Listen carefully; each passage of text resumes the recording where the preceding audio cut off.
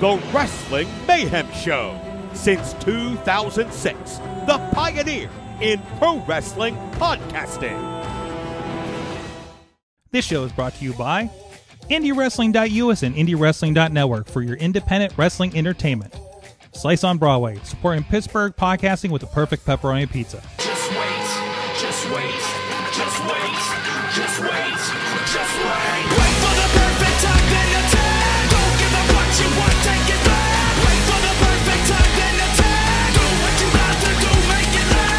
It is the Wrestling Mayhem Show, episode 935. Tuesday's been talking about professionalized wrestling. I'm Mike Sorg at Sorgatron. What did I do with my name there?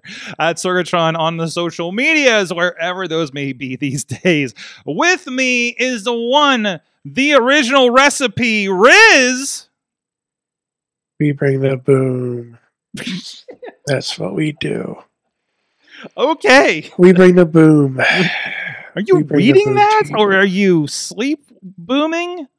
I hate it when I. It's been a weird week, so It has been a strange week.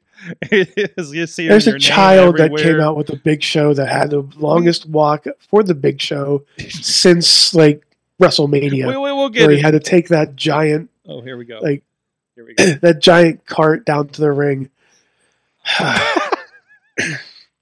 Um.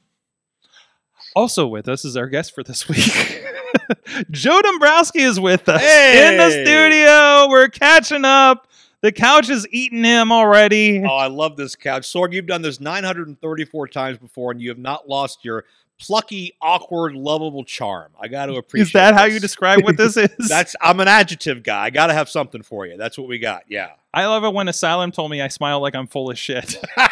he must have that thought stuck with me. he must have thought you were a promoter. I don't know what he thought we were doing. We're just sitting on two chairs in Clearfield trying to do an interview. And he was like, Yeah, like how you smile in there. I know you're full of shit right now or something in the interview. I'm just like, What the hell? I'm just trying to be pleasant, sir, on screen. But uh, you know, this is this is why this is why I've got no other TV gigs. Uh, but you, uh, you of course, uh, Joe Dombrowski, for those don't know, when you go down the Rolodex of uh, the, the, the, the, as long as the 1001 holes or four holes or whatever it is. Joe Dombrowski, international voice of AAA as well as MLW. And Facts. and now JCW apparently. Whoop whoop. I'm glad it prepared you with all those caroids for all your juggalo-ness. we'll get into that in that experience because I'm sure it, was an experience. Oh, I loved it. Absolutely. And I think you got I think your voice got to attach some some pretty high level memes over the last couple weeks as well. High level, high energy. Man. Uh, high voltage, if you will. highly illegal. highly things. illegal, highly questionable. Oh, it must be the Juggalo Championship Wrestling. oh, you're not even at the gathering. Oh my God. That's your dream. One day you and I will walk the gathering. Uh, not not hallways because it's outdoors. It's but we're- We're gonna the outdoor hallways of the parking lot of Yeah. that area. the uh, the unkept field of the the gravel hallways of the gathering of the juggalos. Oh shit. Anyways, this is a wrestling man. No, I already did that part. did Uh, that. let's get into some of the wrestling stuff of the week. We talked about a little bit. There was an AEW pay per view uh, this past weekend. Riz, you watched good bits of it. We watched some of it here at the studio. Uh, there's actually two matches that were very, very good that we were watching Yes. but we were definitely uh, in in studio. Uh, somebody revealed to us that they are currently watching this entire Star Wars universe because they've only watched the trilogy and Phantom Menace up until now. So uh, we kind of went into a guidance session for a while there for a couple matches. So I might want to go back and rewatch them. Um, but anyways, very good. Uh, uh, highlight for me uh, had to have been Kyle Fletcher and Will Ospreay. Riz. Yes. Yes. Mhm. Hundred percent. Hundred percent. That was the match of the night. Mm-hmm, mm-hmm. Perfectly done. Perfectly done. Like the the only bad thing about that was the was that I think it was that match where they did the tombstone off of that Mm-hmm. off of the off the stage Mhm. and onto the On the steps, I you mean? yeah, on the steps. Was yeah, that the, was that off that the match? ring onto Yeah. the steps. Yeah. Like that. That was scary. Mhm. and like I, and I give them props for doing that.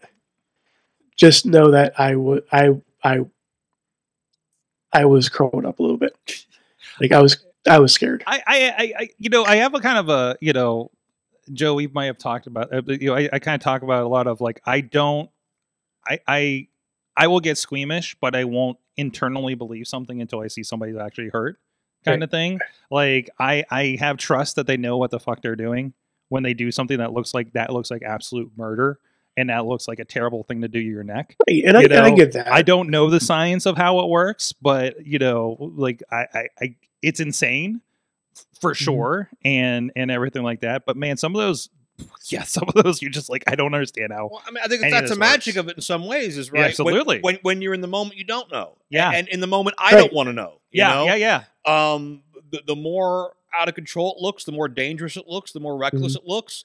Uh, the more we as a people are entertained. It's like you know, you're you're not going to turn away when you're passing a car crash on the highway. Of course, I don't want to see anybody get seriously hurt. I don't want to see anybody lose their livelihood. I don't want to see Mhm. anybody uh, sit at home for for a period of weeks or months. But it's that it, it- it's that living on the end of a lightning bolt, as Dusty would say, right? It- it- it's that danger factor that Mhm. keeps you coming Mhm. back because you think you know and maybe you hope you know, but you're never 100% sure.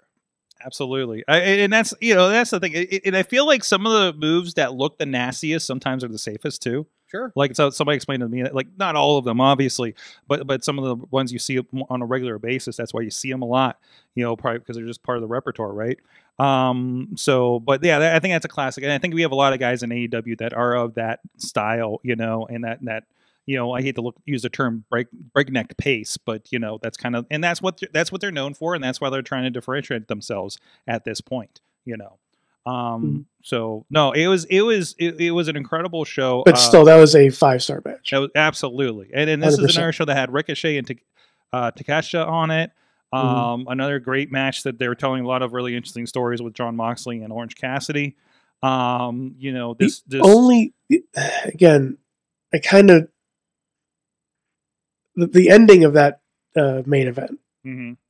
that the whole cluster fuck. the everybody has to get their shit in. Main Everybody got this shit. That, everybody got their the shit. uh, Raw Attitude Era literal car crash ending uh, that we Yes. did, which I appre- I actually honestly loved it because this was I did not. If you expected Orange Cassidy to just walk out of there with the with the championship with this storyline that's been going like a month at this Mhm. point, like one ish pay per view or so has been building. You're building.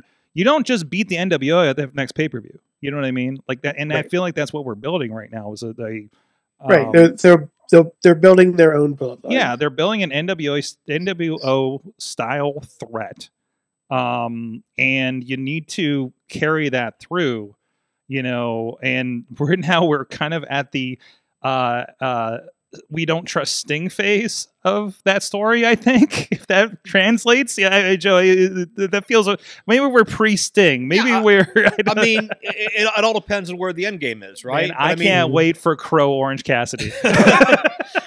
what they've done with Orange Cassidy i- i- is so great, though, because you've established him so well Mhm. as being this lethargic, lazy kind of, um, you know, millennial slacker type of thing. but he steps up And- sometimes, and, and he steps up and and and you know a lot of people don't get orange cassidy but when i worked with him in Mhm. uh, portland right before aew uh, he summed it up for me perfectly when he said orange cassidy is a guy who's obsessed with winning but he hates pro wrestling Mhm. so Yes. when you put that into context there there becomes a, a, a- a bit of, of, of sense of, of understanding and relatability to a lot of younger people out there that, that maybe some of the older folks don't understand. So when Orange Cassidy gets that blood boiling and fires up and says, "No, this place means something to me," like you feel it and it means something to you because nothing else got this out of him uh, Mhm. in in the past four or five years, but this does. This tells me this Right. is important. This tells me I need to keep watching.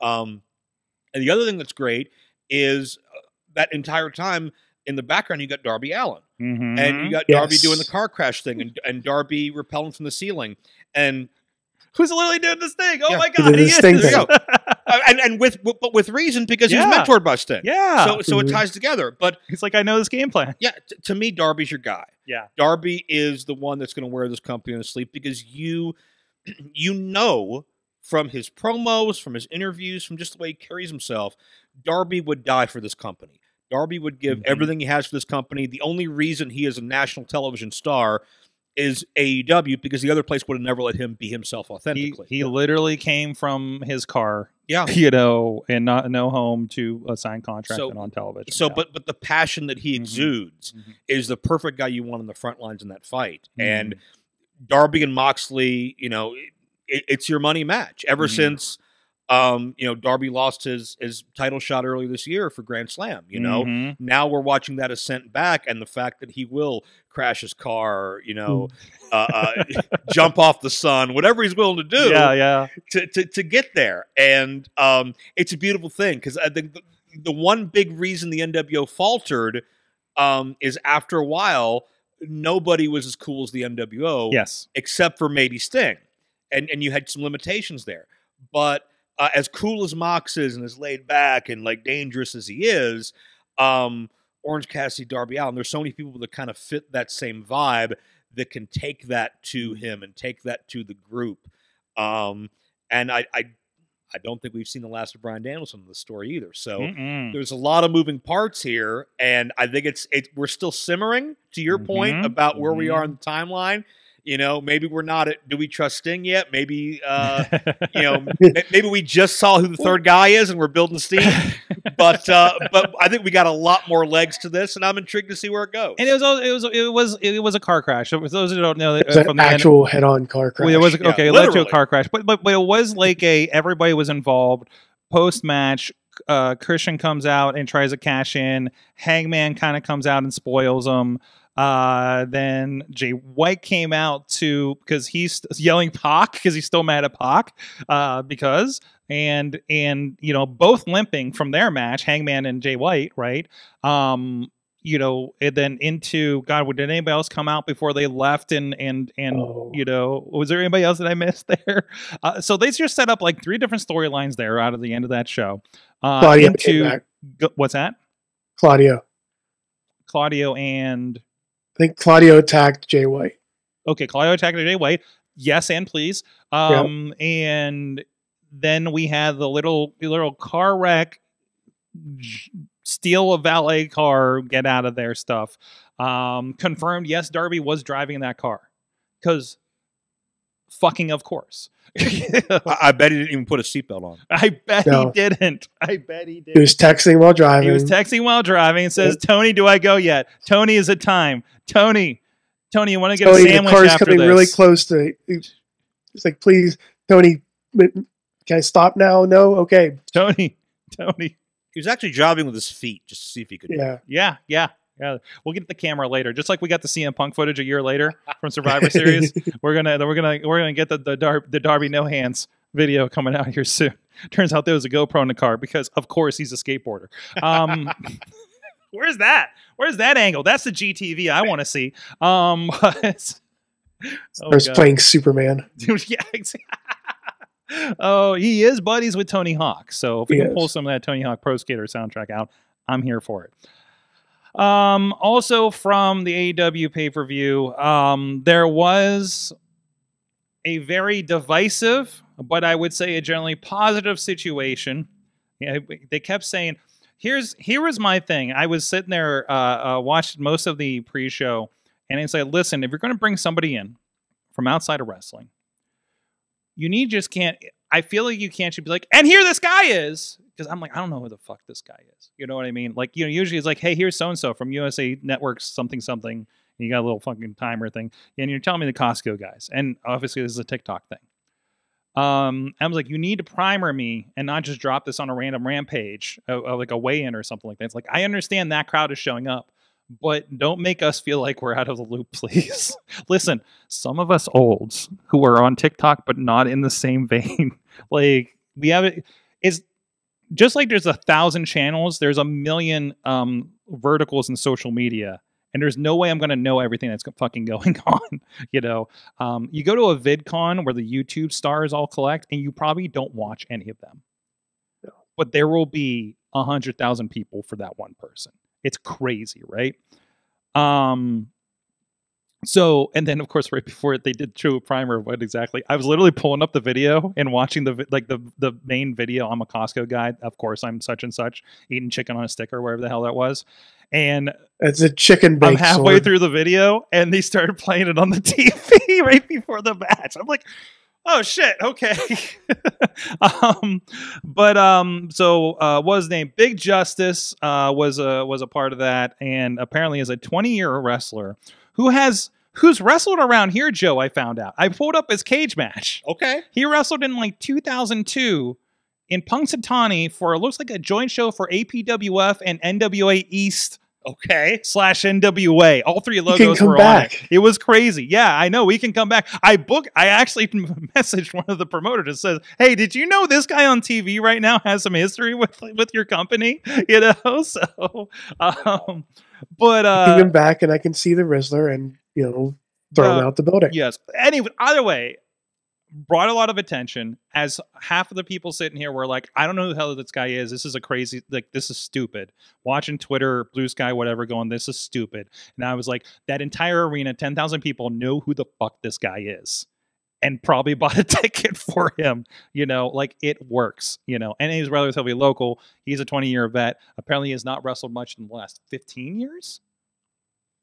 But But uh, mean, he, he had enough know-how mhm, to get through it. he And- did with a broken foot, apparently. Yeah, not uh, what a worker. Not embarrass himself. Not embarrass the Nope. business. And, Nope. and bottom line is, is uh, uh, uh, you and I can have our opinions on it because we're not the target audience. No. Uh, honestly, because because we're already there. Mhm. Um, QT Marshall is such a such a great foil for something like that. Um, he Mhm. QT gets it on such a level Absolutely. that, that the internet will never understand. Yep. But but but he gets it, gets it, and um, anytime he gets a moment in the sun, whether it's here, whether it's uh, his AAA run last year, whatever the case is, I'm all for it. Um, but you know, there's always been a history of using celebrities, and Mhm. sometimes Mhm. celebrities on the fringe, like you know, I'm sure there's plenty of people who don't watch football and didn't care that Kevin Greene was on WCW or you know whatever the case is all the way back to, to Mr. T and Cyndi Lauper Mhm. and and you know Uh, or as uh, Chandler was pointing out that uh, Vanessa Hudgens from uh, High School Musical was on Raw last night. Apparently, okay well there you go Yeah, and, that's and- true. and you know I bet she didn't even have a broken foot so I'm not even impressed by her but the, the the fact is is that there- there's no such thing as mainstream America anymore, right? Mhm. All e- entertainment, all media is so segmented. Yeah, So yeah. you have to find a way to cross promote. You have to find a way to get eyeballs on you, and you don't have to like a TikTok uh, uh, uh, celebrity or an Instagram influencer, but you can't take away the reach they have and the value that they bring Mhm. with their built-in audience. And it's always been about getting people who aren't watching the show to sample it. And if you come for the Rizzler and then you stay for Will Ospreay, welcome aboard. You know, I mean, we're glad to have you. uh, Riz, obviously, we have some uh, brand confusion issues around this match and the Yeah. bell ke- timekeeper for this. Um, I was concerned about the Rizzler's ability to keep time. I didn't know uh, uh, if, if the Rizzler was qualified. The Rizzler was also what eight years old or something. Probably. I think Uh, it had to be a digital watch. It couldn't be like a wall clock. You can't read those. Exactly. No, hit not yet. So we did. So we did. You know, Riz, this has been going crazy. Every time I try to Mhm. plug in your name on social media, I end up getting Nyla Rose because she's like the Rizinator or something. Yep. So I decided. Not Nyla's. I was going to point out, Nyla, you're able to use my name. Mm-hmm, mm-hmm. I'm not going to argue with Nyla. No, no, no, no, no. No, no. But we did uh, put out a statement this week because I thought it was necessary. Uh, uh, over, you know, we're kind of seeing what's going on out there and Do we know anybody who can make this official? make what official. The, the statement, sort of. The statement, the statement is official. It says official for immediate Okay. release. That means it's official. And the set headline is literally uh, the Riz officially declared the original Riz, Mhm. which is true. It's very true. and we and we have an inc- completely official sounding that was not made on ChatGPT Not at all. Don't just Uh, don't don't don't bother the uh We lowered it down. borders. It's fine. It says, you know, the Wrestling Mayhem Show has been my proving ground. My home turf, said The Riz. Completely real quote. For over a decade, I've been delivering top tier content, blazing trails, and letting everyone know what it truly means to be The Riz. It's time the world recognizes what I've known all along. There you go. And so now, with the rebranding, uh, uh, not only a tribute to his storied history, but a bold move to cement his iconic status for the future kind of with your expect your same cutting edge insights and hilarity we've come to expect and love.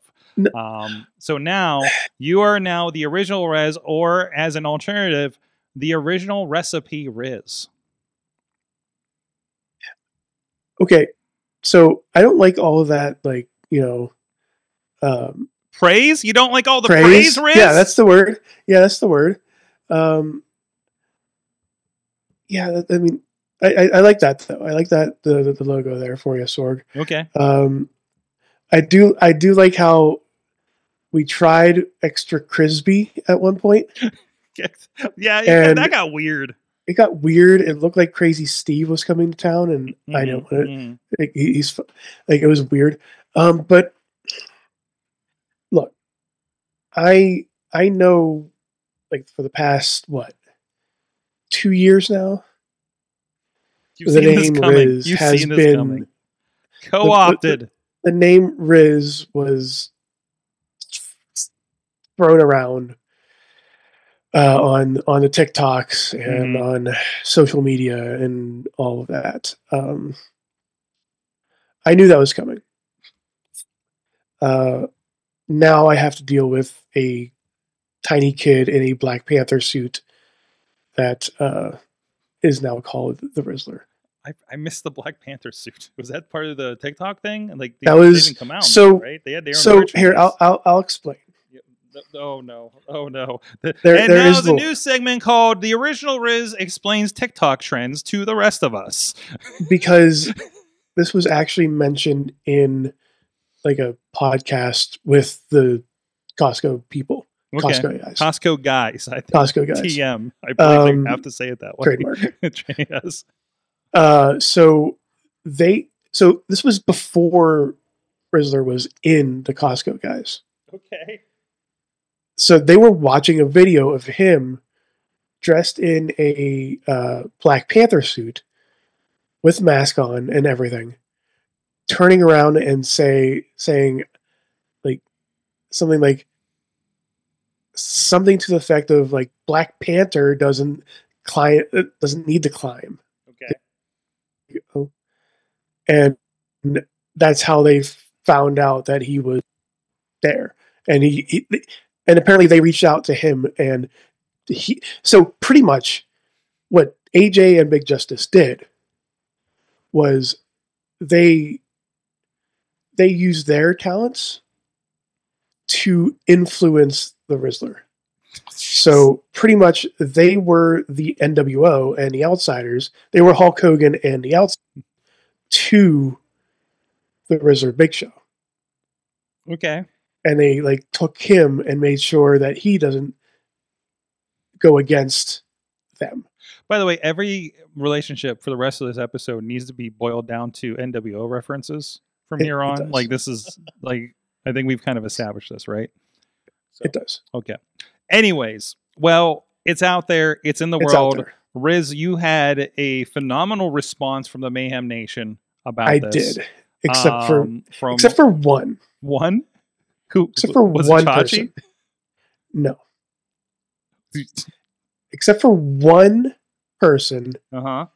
that if I can get this going here, hang on Oh, one no. second. He um he apparently doesn't like uh or just just decided to call me by my first name. Mm-hmm. Mm-hmm. Mm, mm, mm.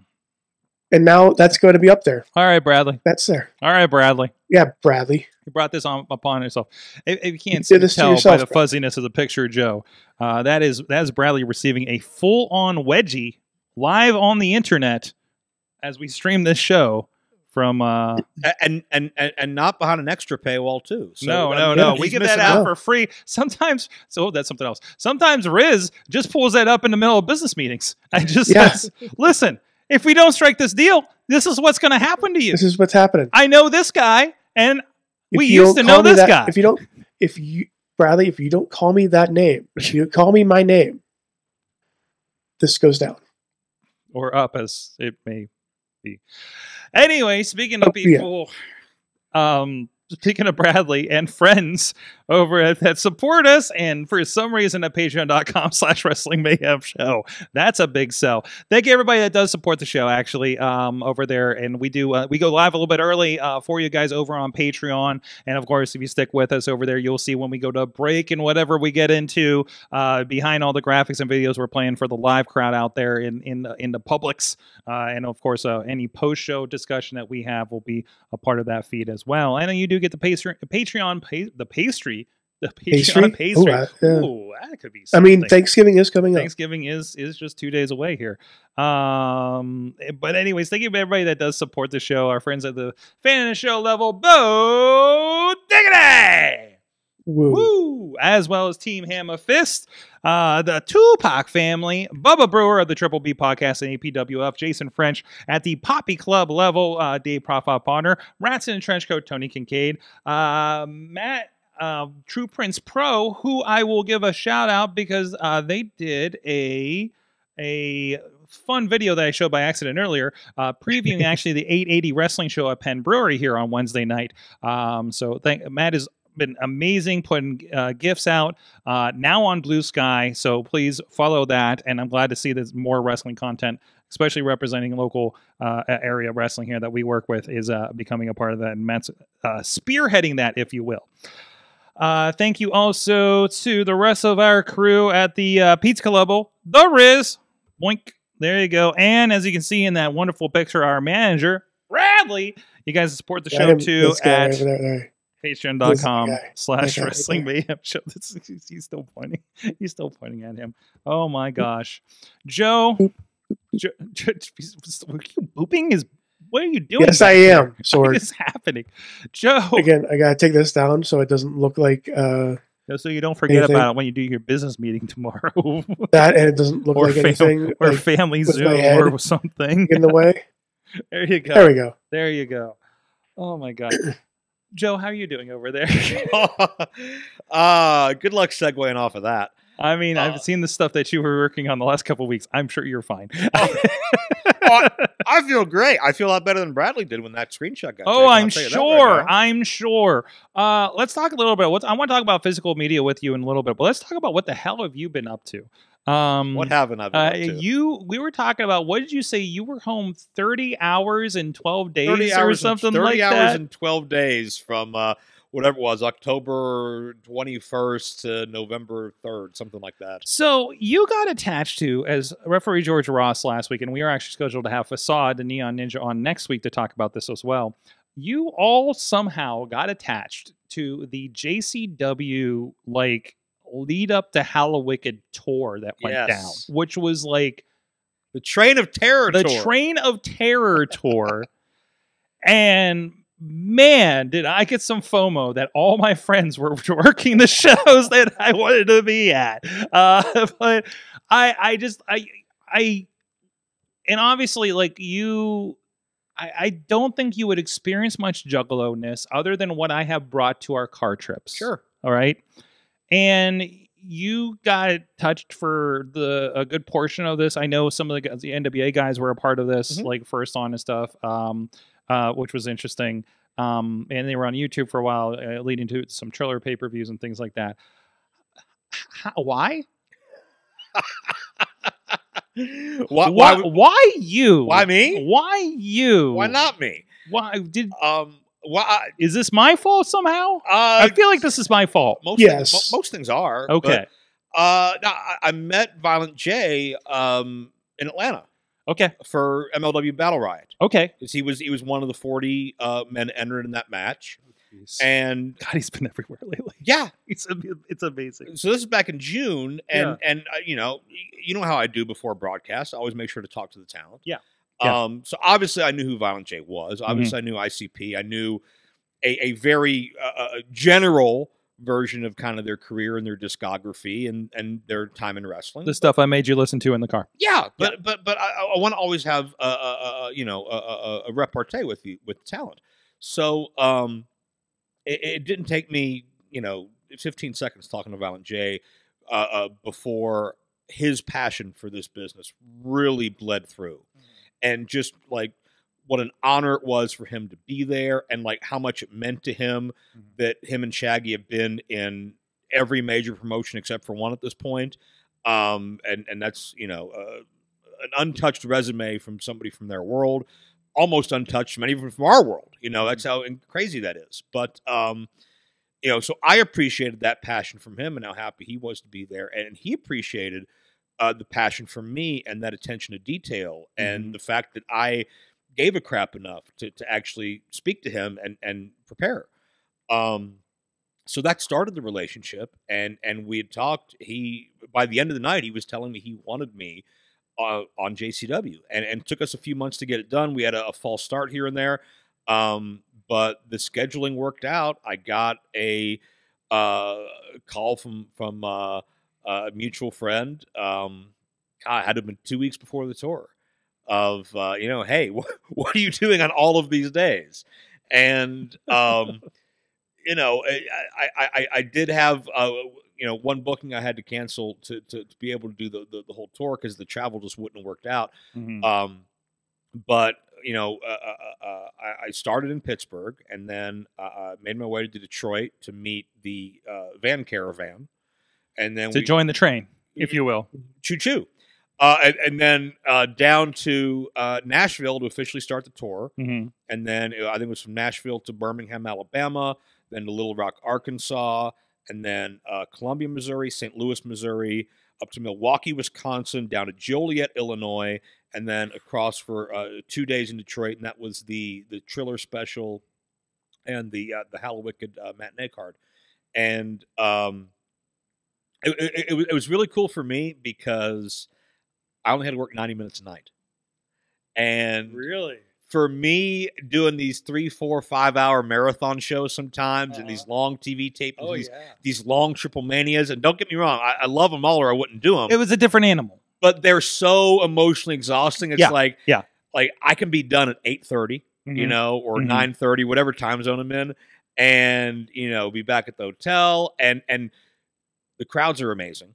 Mhm. Like, like if if you aren't familiar with Juggalo culture, you wouldn't like this. Feels like it shouldn't work, right? You have this like underground rock show, and you have pro wrestling. Like Mhm. you're going to split the audience. right? Usually, it's awkward as hell. You- Usually, when you see like Yeah. an indie do it, Yeah. it's, I I cannot recall one where half the audience cared about the band that was there. Yeah, yeah, or vice versa. If like a, Mhm. Yeah. a touring outfit wants to bring in wrestling they wrestle in Mhm. the parking lot or something, people just Mhm. kind of, kind of, oh, look, that's weird, and then they move on. Yeah. Um, but no, they were into everything. I mean, uh, uh, they hate poor Kerry Morton's guts. I mean, that that kid's lucky he got out of half those places alive. Mhm. And and Silas uh, Silas Mason, who it was Terry Gordy and Iron Claw, and he might as well be Terry Gordy now because he moves so well, and he's he I love Silas. he is such a caricature. Uh huh. Um, but they hated him, and they hated Briar Wellington, and they love Mm-hmm. Willie Mack, and they Mhm. love your Mac crosses, and they love you know the the neon blondes. Um, Mm-hmm. they're so invested in everything, and they're- they're not a crowd that's watches wrestling every week, so they're not burnt out on everything. So a lot of the little things gets them, you know, seeing seven foot tall Baba Thunder, who, you know, unfortunately, you know, you may remember him as Commander Azeez or Dabba-Kato or whatever, but to see him in his element doing his thing, that's oh cool. my god! I, okay, he was. He did look familiar Yeah. in that clip. Okay. to see uh, uh, the Amazing Graysons do uh, the new back seats. And Graysons worked for me in, in uh, 2017, welterweight wrestling. They were there. Um, Yeah. So uh, uh, uh, to go, to go full circle, and now they are mentored by Johnny Cashmere, and they're carrying on that Johnny and Trent uh, uh, spirit, you know, and that attitude and that vibe, and the silver pants and the double team moves, uh, and to see them excel. And, and I always thought they were so talented when they were young kids, but there was just something missing, right? They were just guys. But now, um, with kind of the boy band entrance and kind of that like, uh, you know, uh, the, the boy band motif of like Tommy's the cute one and like JP's the bad boy and like Cashmere's the mentor. Like everybody's got a role, right? And then you know to see them work with Bang and Matthews, so I, I think the World Over is an upcoming team in the Midwest. Um, it just works, Mhm, and mhm. uh, uh, it, it, it's timed well, it's paced well, uh, to where it, it, moves, you know, and and you get in and you get out and you give them just enough, and uh, there's nobody on that card that's like anybody else. You know, everything's different, everyone's different, and I think what Jay appreciates and what Jay wants to do, he doesn't want JCW to be, oh, that's that clown bullshit. That's oh, that's that's just ICP, whatever. Mhm, Like he's mhm. not he's not trying to do Stranglemania. Mhm. He, he's trying to get JCW the respect in the wrestling community Mhm. that, quite frankly, I think it, it deserves. You know, and and is it rough around the edges? Yeah. Are there some some things said and done that maybe all parts of the audience won't appreciate? Yeah, absolutely. But a lot of areas of wrestling are like that now. Um, Jay wants the wrestling community to embrace JCW just as Jay has embraced the wrestling community. And, and one step of that, maybe a small step of that, is, is having someone like me there Mhm. to be that voice and to string uh, uh, that continuity together. And well, if you remember back when we, we streamed Lunacy three weeks ago, this happened, this happened, this happened, and that detail and, and pushing the Triller relationship and pushing the social platforms and just being, uh, uh, for lack of a better term, the straight man Mhm. in a very wacky world Mhm. you know and, and i love the fact that they put me with zach amico who always he's like he's a comedian he painted up every night he wore these just Yeah, I'm not- extremely colorful garbs I'm not familiar, and I saw one picture of you with him, and I was like, "What? Yeah. I didn't know the deal." but he had he had some great one liners he had some great zingers he had me kind of you know uh, uh, trying to stifle my laughs under my breath but like I want that, or like they uh, Mannie Fresh was with us on on the Hallowicked uh, broadcast. Like I want that to be the voice of the Juggalo Nation. I want that to be the voice of of you know that type of community, and for me to be there as kind of a bridge to tell wrestling fans it's okay to come on over Mhm. because you're going to find something that you like. Um, so even though uh, again on the surface doesn't feel like it's my cup of tea, and Mhm. you know, uh, were were there were, were there things there that I wouldn't have done if I was running a show? Absolutely, absolutely. But that's okay because Jay knows his audience, and I think Yeah, the- yeah. the, mo- the important thing is twofold. Okay, it's reaching those wrestling fans that maybe have a, a perception about it unfairly, Mhm. and it's also making sure you're true to your roots because Mm-hmm. you don't want to be, and especially in music, you don't want to be looked at as, oh, you're a sellout and you went mainstream and you Yeah. went corporate, and that's not what they're trying to do. They're, Yeah. th- i- it's not that we are uh, allowed to curse; we are encouraged to curse. There's a, much like this is the podcast where I allow myself to Yeah. say say fuck. This like this is the wrestling promotion where we allow ourselves to do this. Yeah, like, like- that's that is the one one of the things that sets us apart, and that's okay. I, I think if I if I didn't start cursing, Jay might have fined me. I mean, that, that's just the way it works. Yeah, yeah. but but uh, but it's the ability to have fun with it, you know. And and I was, you know, in my head, I, I took that as a challenge. It's, okay, I, I don't normally use that kind of colorful language. I leave that to the talent because I Sure. think you know it means more that way. But if that's what you want in your presentation, okay, well, how do I use it sparingly, but in ways that mean something? Yeah. Not just say like, "Hey, what the f's up? Welcome to the show." but how do I put that attached to moments that'll make it mean more? Yeah. So I I still took that as a challenge and- one that I was glad to embrace. And if that's what the boss wants, it's what the boss gets. But uh, Mhm. I think Jay and I were very, very pleased with each other after that tour, and um, we both want to do more. So uh, I'm I'm officially uh, uh, down with the clowns. I And love it. no- I, and I love that. I love what, what you're saying about like the, the accessibility of it because Yeah. it's, it's definitely been, you know, I mean, maybe because like I've seen it over the last couple of decades, pretty much at the gathering where the audience is the audience, right? Is literally the audience, and and so like it felt like it felt inaccessible because it's like these are all the inside jokes of people that listen to this music, Mhm. right? Like, and nobody else is going to appreciate this. And I love that it is. I don't want to say softened, but it, it it's that accessibility, right? yeah, it hasn't Yeah. softened. It's it's broadened. yeah, it's broadened know? Yeah, It, evolved, if you will. because I mean, my roommate most nights was Simon Gotch. Simon Gotch is not a juggalo, Mhm. as far as I know. Maybe he is when nobody's looking. I don't know, but he doesn't fit that motif either. No, you no, know what no, I mean. No, no. But uh, but it works Yeah. because there's nobody else in the show like him. So we can talk Yeah. about how he's a technical machine and he's a suplex master and all this type of stuff. But but yeah, I, I think again, like they're, they're, they're, it's not like uh, uh, JCW back in the day where like okay, one of the guys is dead and one of the guy eh, like one of the guys is a parody of somebody else you see on another show. It's it's not.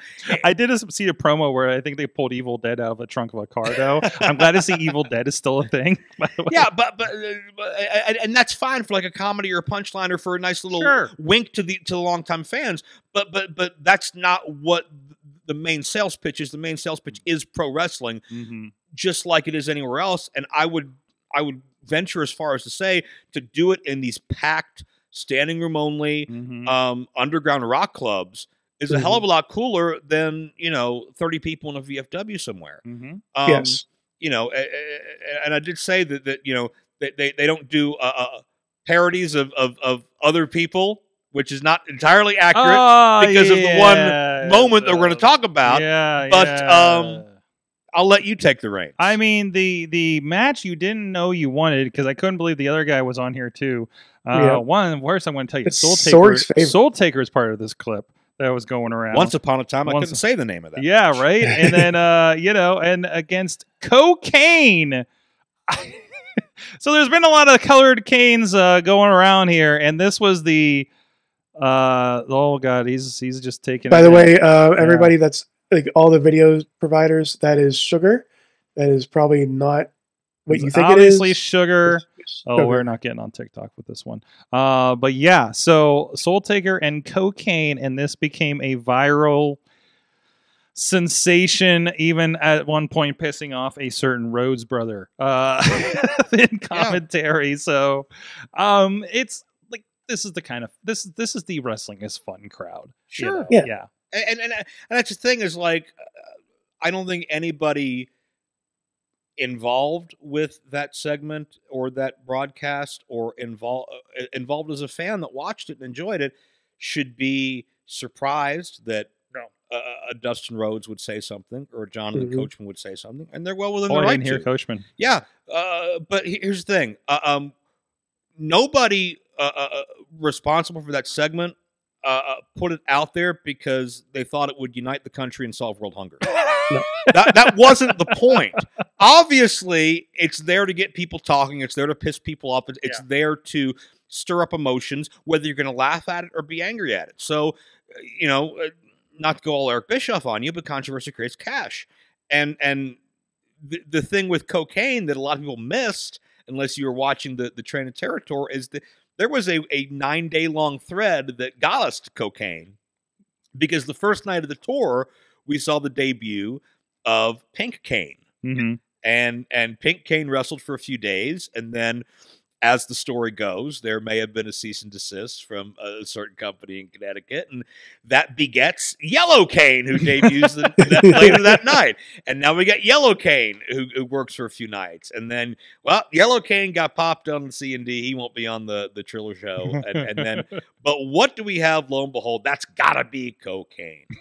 And uh and, and and and yes, I did the Vince line almost every night of that tour. That's gotta be Mhm. uh for for the introduction. Um but that's fun. Listen, I, I- I'm not I'm not here to argue uh, a legal trademark. Uh, uh, uh, you know, It's parody. It's Right. parody. I'm just I'm just here to say I had fun calling it. I had fun having my voice on it. I- I- If you don't like it, if it's not for you, cool, Yeah, fair, fair yeah. game. Uh, Welcome to the Juggalo culture. but but it's not for everybody. but at the same time, yeah. But at, at the same time, um, that audience loved it, Mm-hmm. and Violent J knows his audience. Uh, you know, uh, was there harm done? You know, I, I don't think there was. I don't. Nobody's kicking uh, Glenn Jacobs out of Knox County. Um, no one is is is calling for ICP to flee the country. No one like it's going to be okay, guys. There's more Yeah. problems out there in Mhm. the world.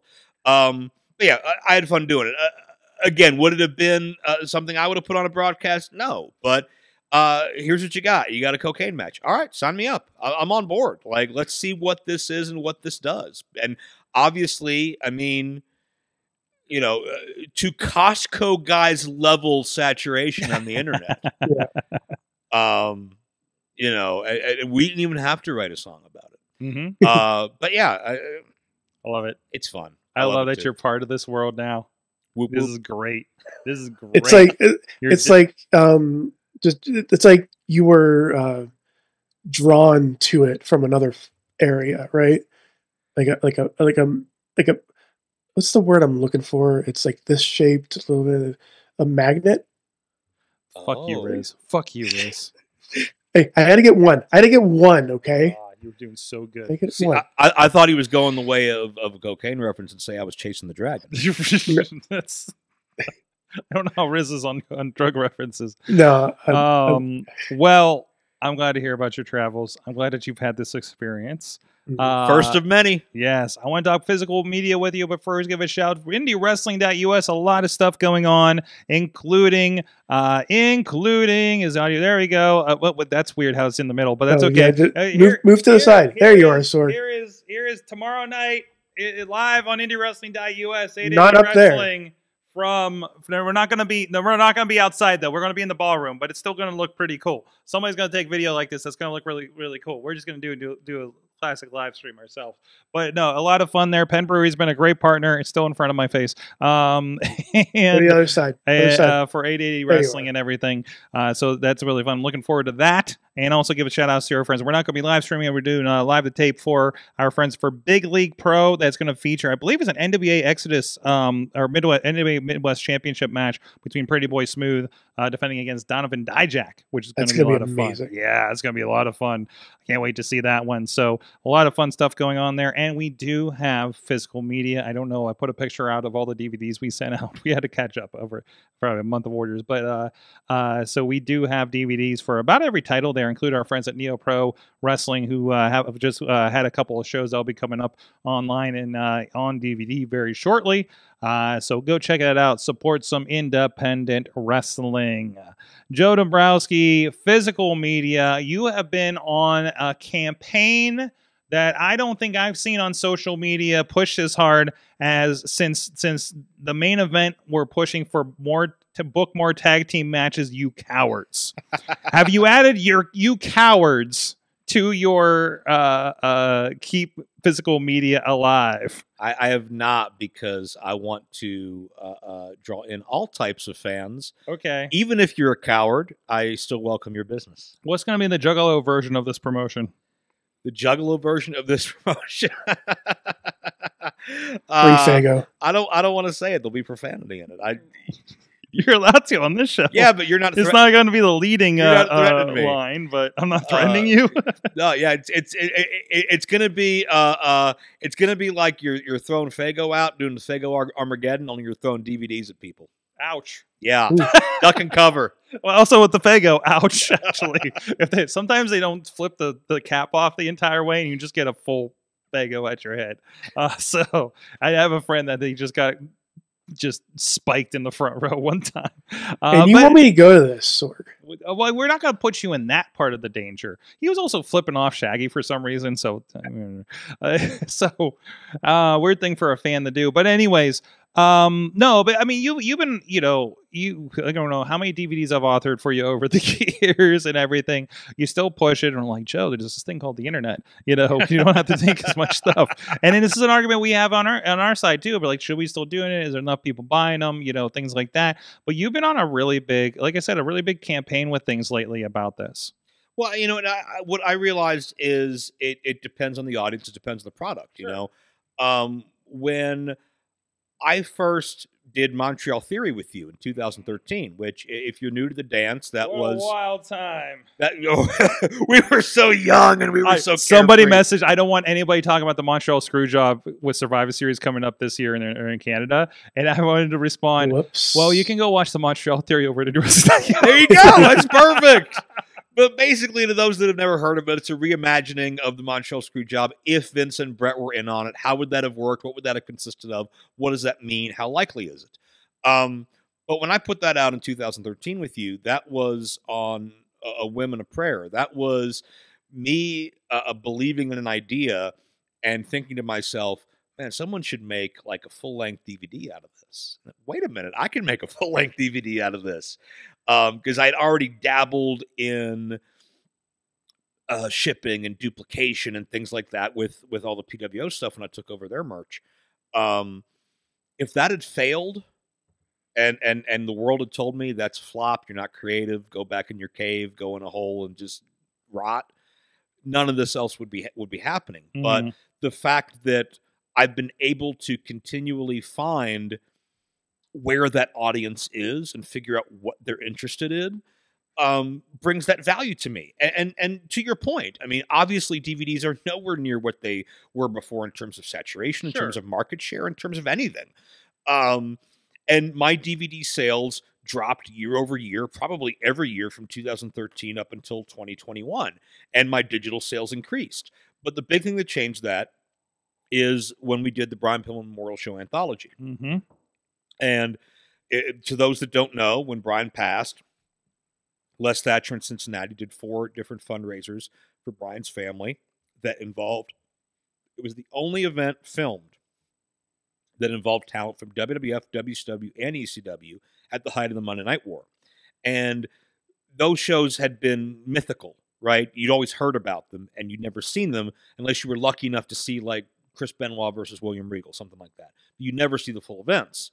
Um, I was able to bridge the gap between Les Thatcher and the Pillman family to get them together and get the rights straight to get an official release of this for the first time, and sales skyrocketed.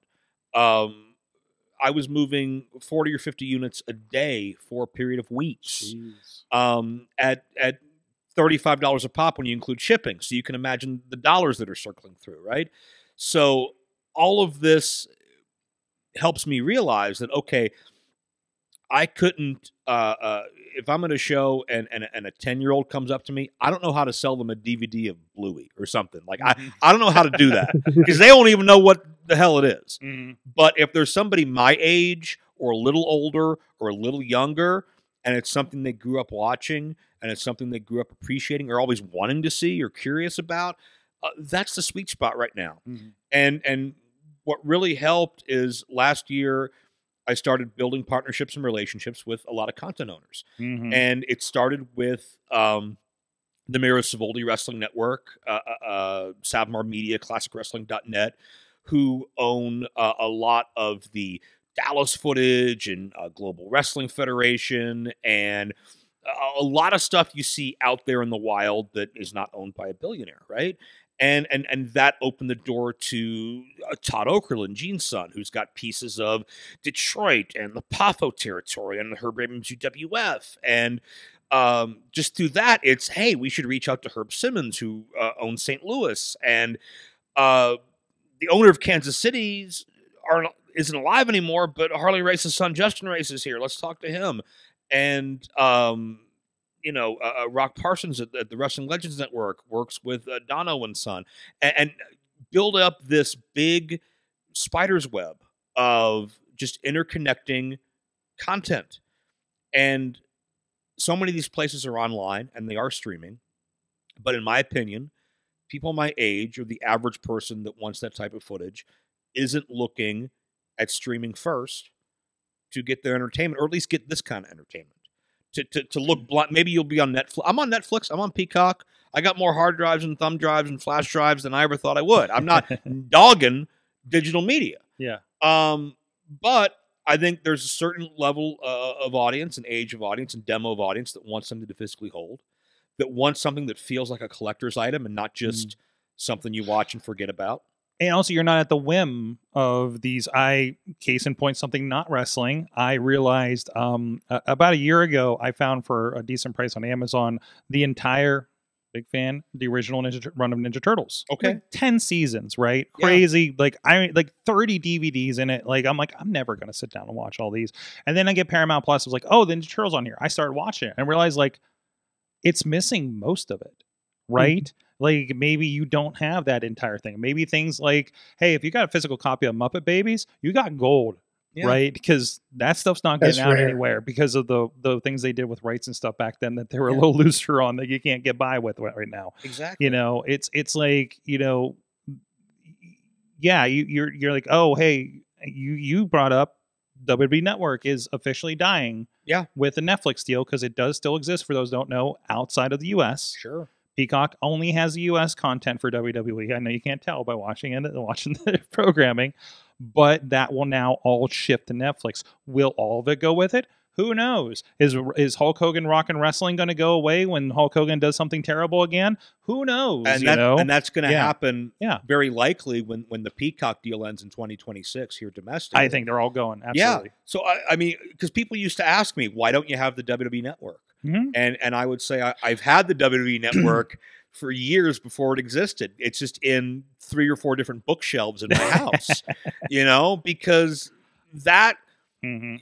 if, if you pay for the and anyone that's paid for the WWE network, again, I, I don't dog you for it. Can't beat it for the value. That's for Oh, damn sure. without a doubt, and, and everything's convenient. It's in Yeah, one place. They give you exclusives. Yeah. But but here's the thing: you don't own any of that. You're Mhm. renting it. Mhm. So as soon as they take it away, you paid ten dollars a month in, hundreds and thousands of dollars. Now they take it away. What do you have left? So I gave a friend of mine when WWE Network happened. I had all the pay per views we taped on VHS from Yeah. all the years, like boxes of them.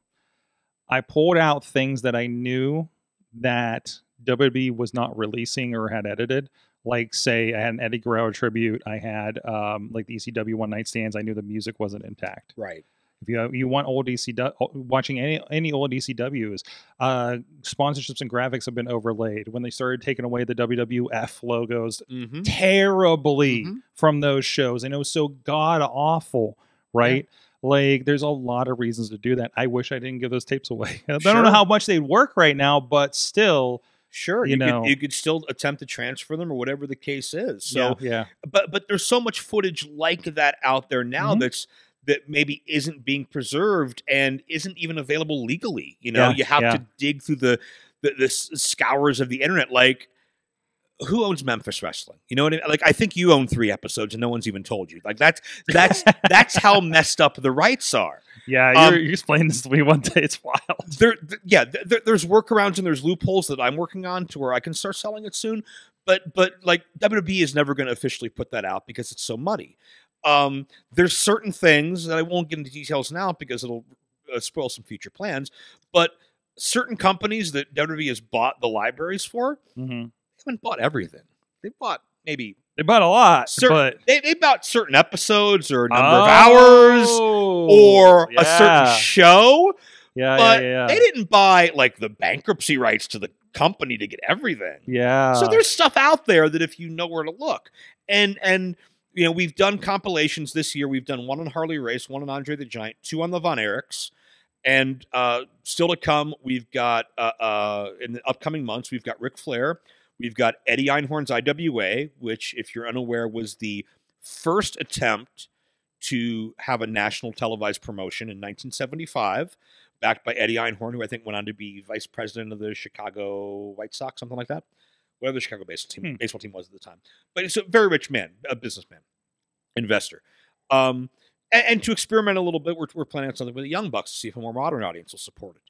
Um, and and all those titles are available digitally as well. ProWrestlingLibrary.com is primarily digital, Mhm. but the DVDs allow it to travel to a place that digital can't. Right? It allows me to uh, uh, have an eBay store, to have a Mercari store, to have Mhm, mhm. to go on the road with these things to the towns and, and, and meet these fans who say, Man, I remember when my dad saw Andre when he was a kid and he told me this, this, and this, or Mhm. man, the Von Erichs, hey, did you see that movie? What did you think of it? You know, and and to start these conversations and, and, and to rekindle this passion in, in fans, and they feel like they're getting something special because, you know, uh, uh, looking at things, it's, it's it's they'll see this lineup and like, wow, I never knew this happened. I never knew, you know, Harley went here and wrestled this guy. I never Mhm. knew, uh, Mhm. um, you know, this upcoming Flair set. We've we've got a Ric Flair versus Ricky Steamboat match that I don't know if it was ever televised. It's not from Jim Crockett. It's not from WCW. It's not from. It's certainly not from WWF. Um, but this stuff's out there, and, and people don't know because nobody's been able to curate it pro- properly and Mhm. present it properly in an organized way. And um, I I, I want to be able to put it out. I want to be able to save and preserve what's left. Because think about it too. Um, so much of the TV back in the territory days wasn't saved. Yeah, big, Um, big, what big problem with Pittsburgh when we were researching the Yeah. Pittsburgh stuff. It got yeah. taped over because Yeah. videotape was so expensive back then. You, Yep. You'd take the tape, you'd bicycle it to all your towns, and then you'd record over And- because nobody saw value in it And back there, then. there's no value in replays. There was no value in catalogs at the time because nobody saw that future happening of, of, of easy duplication. I just bought uh, uh, uh, from a collector, I think about 700 hours of Portland wrestling TV. Um, most of that came from the private collection of the late great Playboy Buddy Rose. So, Mm-hmm. so the promoter Don Owen wasn't even saving the shows. One of his talents was recording it off television, and that's the only reason we have it today. That's wild. Um, but yeah, like think of all these legends that, that I've named, and like in 2025 and 26, you know, uh, uh, uh, all things willing, I want to do a Terry Funk set. I want to do Yeah, a Jerry Lawler yeah. set. I want to Mhm. do a Kevin Sullivan set. yeah. I want to do, you know, all this stuff to put this out there because how many people are huge Roddy Piper fans and never saw anything he did in Portland? How many people Yeah, are you always hear about it. how many people are huge Macho Man fans and never saw anything he did in his dad's own promotion? Yeah. or Yeah. in Memphis, except for maybe people have seen like the cage match with Lawler, stuff like that. Um, it's out there, but uh, I want to be able to package it together in a way that people can can feel like they have something tangible, they have something worthwhile, something they can hold on to forever, and a legitimate piece of history. And and there's matches we put on here that have never been released. You Mm. know, um, we, we've we've dug out and found Japanese TV feeds. We have found torrents. We have found, um, you know, uh, bootlegs. We have found uh, uh, uh, garage sales. We have fa- we have been looking long and hard at anywhere this footage can be to just bring it back and and and bring it to where people will appreciate it and love it. And uh, you can see a lot of those great titles there. Uh, we, we just started putting up episodes of Kansas City TV, uh, Mhm. courtesy of Justin Race. Um, I, I want to get every single territory. Uh, probably won't get New York, but I want to get every other territory represented in some form or fashion because there's always some bleed over, right? Like I Yeah. can't I can't touch AWA, but like AWA guys worked in Chicago for Bob Luce. We got Bob Luce footage. Mhm. Um, you know, uh, uh, obviously I don't own Jim Crockett, but Flair is the traveling champion. He went Yeah. everywhere. You Yeah. know, like Yeah. I, I, uh, uh, Florida is owned by by Stanford, but there are certain uh, features and and and projects that were put into place before Mike Graham sold that library that are still out Mhm. there. So th- th- there's so much out there to bring to people, and I want to I want to put it all in one place. I want to put as much of it on DVD as I can if, if the audience will have it, and wrestlers need it because you can learn so much from watching. You know, back then Mhm. people do things that no one does now. You do it now, it'll look brand new. And I think fans deserve to see it because there's a whole world out there, and and history's not just written by the winners. History is written by uh, uh, the, the people that survive, the people that keep work putting the work in, right? And and and the counter. Uh, uh, Shane Douglas said this to me the other day. The the the counter for misinformation is more free speech. So if something's out there, the, the narrative that you're, you're not uh, you're not digging, what do you do? You shout it down. There's a whole wrestling world out there that you're not going to hear about in the mainstream companies, and I want to present it to everybody. There you go. There you go. Do you feel like? and I'm sorry. um, Do you feel like there's more, like, territorial of these tapes, like there was back in the day, where it's like, like in New York, there's or in in the Northeast, there's this one group that has all these tapes, like in just pretty much like what it was in the territorial days for wrestling. Do you find like there's just that group of people that hold on to their babies like that? like the the footage of that stuff. Yeah, I mean, I think there's always sentimental value there. I, I, Mhm. I, I think, I think there's probably gold mines in, in in someone's basement right now we don't know about. You Mhm. know, there, there's some old Schrodinger's basement. There's some old grandma somewhere that that that that uh, uh, uh, is is sitting on you know every episode of Memphis TV that ever happened, and she's like, I hated that damn Bill Dundee, and and and and and she's holding on to that because she does she doesn't know, you know. Um, Yeah. I, I don't know if it's so much as, as geographic as it used to be, but it definitely is uh, segregated, you know Mhm. um, where there's collectors out there that may have this or that, and don't realize that it can be monetized or or, or whatever. Like I mean, or have the means or Yeah. the idea. Yeah. Yeah. I I mean, and, and, and Herb Simmons in St. Louis, uh, uh, he he got the St. Louis library from Larry Matysik when when Larry passed. He was the old St. Louis announcer, and Larry got it from Sam Muchnick, uh, the legendary promoter there. So there, there- there's this this trail that goes down, but Herb wasn't really doing a lot of it outside of like his own podcast and his own like St. Louis Hall of Fame, his Mhm. wrestling club down there. He's, he, he runs a great promotion down there, and he's very active in Cauliflower Alley. But like he, he he's not that type that is really in tune to what the possibilities are in 2024 with DVD, what the vastness is of the digital scape.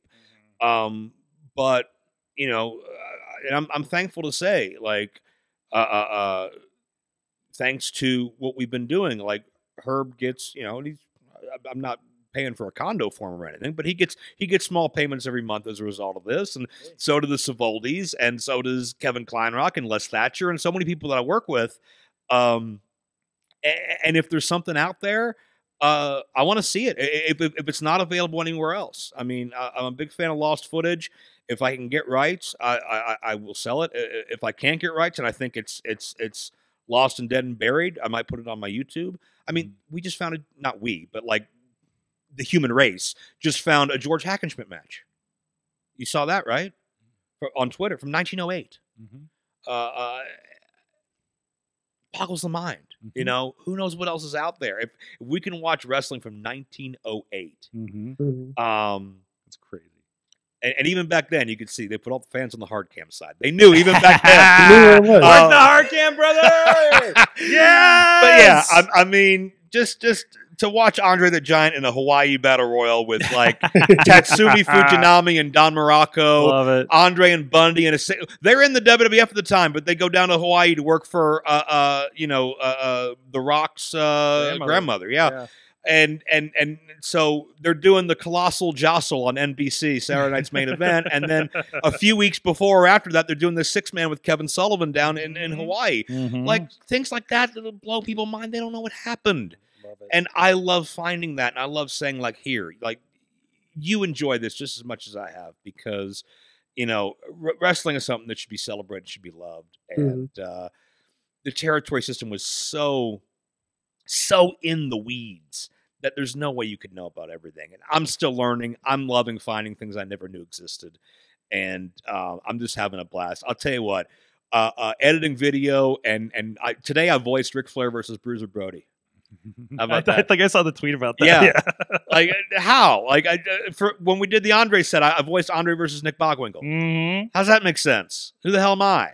Um, it's a hell of a lot more fun than um, running a live show. tell you that. Awesome. Awesome. well, Joe, it's always great to see what the hell you're working on. It's it, I love hearing the stories about how you're finding everything, you know. And uh in, in prowrestlinglibrary.com, go check it out. I need to catch up. There's a lot of stuff in there. I haven't I haven't uh, since I've, it's been a while since I've worked on a DVD for you. So Yeah, I- and there's more to, and, and there's so much stuff we're doing that's just digital only, like uh, any of the TV episodes, like Wrestling Titans or Kansas City TV. yeah. Uh, we just started running uh, uh, the Rock Parsons Classic All Star Wrestling, hosted by his son Adam, who's a great kid. Um, I, the fun clip you'll I I don't even know where it's from, but there's there's a brawl going on in the ring, and just the canvas is imploded. It, it's it's, it- it- it's like they're in a waterbed. It, it, it's ridiculous. um, but yeah, just uh, random stuff like that. But uh, uh, yeah, ProWrestlingLibrary.com. 500 hours of digital content, and a lot of the heavy hitters are on DVD too. So Like it. check it out. like it. Go check it out. And uh, we we have a lot of commentaries from the chat room. We're going to get back to that after this break. We'll be right back. I'm Eamon, I'm Merlin, and we're a gay. and his NB. Are you a reality television connoisseur? Do you like it discussed from an LGBTQ lens? If so, A Gay and His Envy is the podcast for you. Hear us break down all your favorite guilty pleasure reality shows from Bravo, Drag Race, and just about everything in between. Listen to A Gay and His Envy on Apple Podcasts, Spotify, or wherever you listen to podcasts. Sidekick Media Services. We are your sidekick in business for social media, video production, and more. Find out more at sidekickmediaservices.com. We are back, Wrestling Mayhem Show. The original recipe. Riz is here. It's been a long week. and the original recipe Joe Dombrowski. I feel like it's more apt. I mean, with your KFC affinity, it feels more appropriate. I love Yeah. it. Yeah. I think that's why I thought of that because I was doing the thing and I was like, how about this too? I, I think I think I had you on my mind. Hey, I'm more enjoyable than all 11 herbs and spices. Oh wow, oh, wow! That's what's on the grinder That's the- profile, right? It is now. Jeez, I didn't. Um. Anyways, you got some comments in the chat room, so I wanted to touch this first. Uh, Dave Ponder says, uh, "Bring back the laser disc." There you go. I'd have no. I mean, know where we start with something like that. You know, you know what I've been contemplating though. I've been contemplating doing. Vinyl. I, I don't know which. uh, well, yeah, for my operatic album. Yeah, there you go. Uh, I've I've been contemplating um putting something on like a limited release VHS. I don't know what. Just to see what happens. 'Cause TNA did that a couple years ago and they sold out. Yeah. Oh wow. Wow. So th- there might Uh, be something there. if it wouldn't suck to do so long, like maybe the first Brian Pillman show episode or show Hmm. memorial show. I think that would be a nice like just do the first one, right? Because it's the shortest. I like the way you think. I didn't even realize that. Well, I should remember when I did the DVD.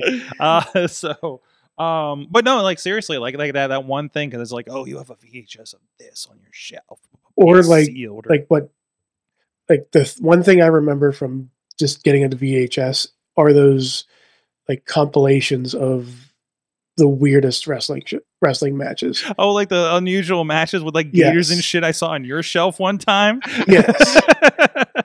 Let's see. There was the uh, crocodile death match. There Yeah. was the piranha death match. Yeah. yeah, Uh, uh, Big Japan's done some weird shit. yeah, yeah. Um, yeah, I- I'll tell you what. There, uh, I, I bought a tape lot last year just for my personal collection, not for any- anything to sell.